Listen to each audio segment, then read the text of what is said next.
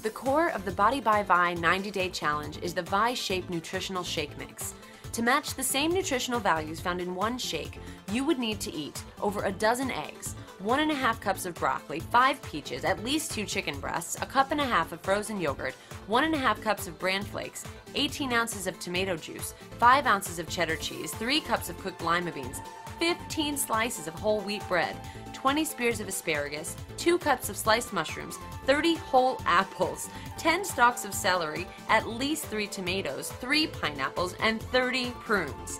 That would be 8,662 calories and cost over $100. Or you could get all of that nutrition in one convenient, delicious shake for less than $2.